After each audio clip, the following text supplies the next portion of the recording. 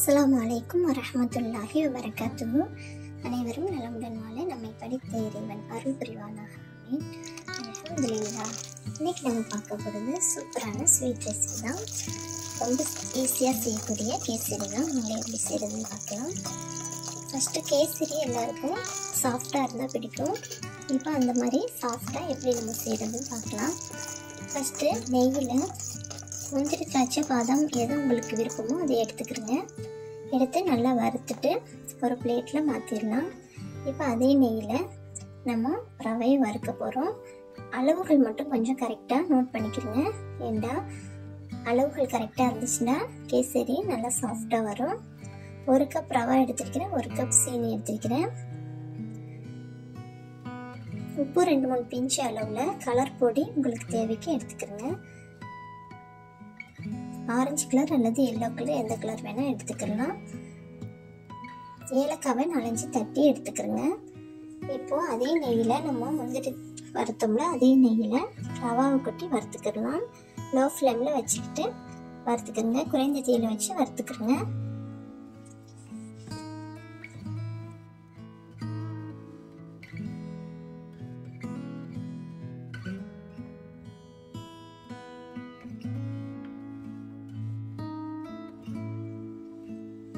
பொதுவாக கேசரி செய்யும்போது நம்ம எல்லா பொருளையும் ரெடியாக எடுத்து வச்சுக்கிறணும்.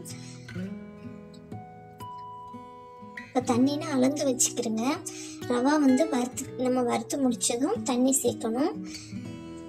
இப்போ தண்ணியை வந்து சூடு பண்ணி தான் நம்ம சேர்க்க போகிறோம் சூடு பண்ணி சேர்க்கும்போது ரவா நல்லா கேசரி சாஃப்டாக இருக்கும்.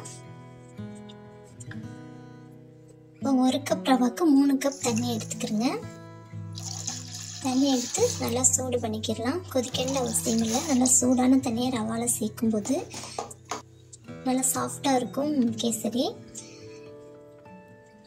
இப்போ நம்ம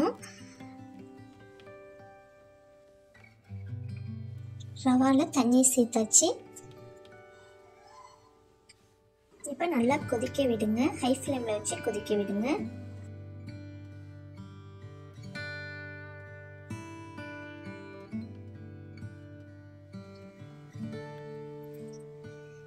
கலர் பொடி உப்பு இதையும் சேர்த்தாச்சு.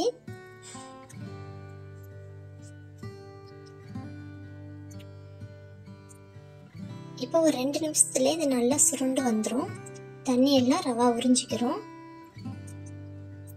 நல்லா வெந்திருக்கும் ரவாவும். இப்போ இந்த ஸ்டேஜில் நம்ம சீனி சேர்த்துக்கலாம். ஒரு கப் ரவாக்கு ஒரு கப் சீனி கரெக்டான இனிப்பாக இருக்கும். உங்களுக்கு அதிகமாக தேவைப்பட்டால் அதிகமாக சேர்த்துக்கிறங்க. குறைவாக தேவைப்பட்டால் குறைவாக சேர்த்துக்கிறங்க. இப்போ சீனி சேர்த்ததும் கொஞ்சம் இலகல் கொடுக்கும். இது கொஞ்சம் நேரத்திலேயே மறுபடியும் இருகலாயிரும் இப்போ நம்ம ஒரு ரெண்டு நிமிஷம் கிண்டிக்கிட்டே இருந்தோம்னா சூப்பரான கேசரி ரெடி ஆயிரும்.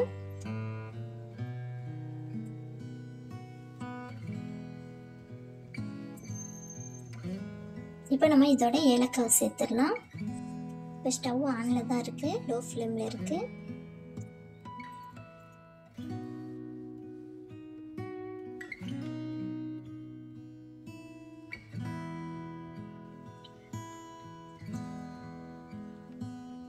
இப்போ நம்ம இதோட நெய் சேர்த்துக்கிடலாம்.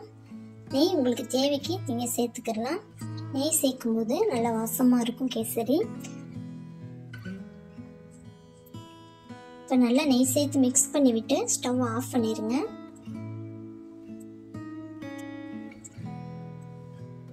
இப்போ பாருங்கள் நம்மளுக்கு கரெக்டான பதத்தில் கேசரி கிடைச்சிருக்கு. இப்போ நம்ம வறுத்து வச்ச நட்ஸ் வகைகளை அதோட சேர்த்துக்கலாம்.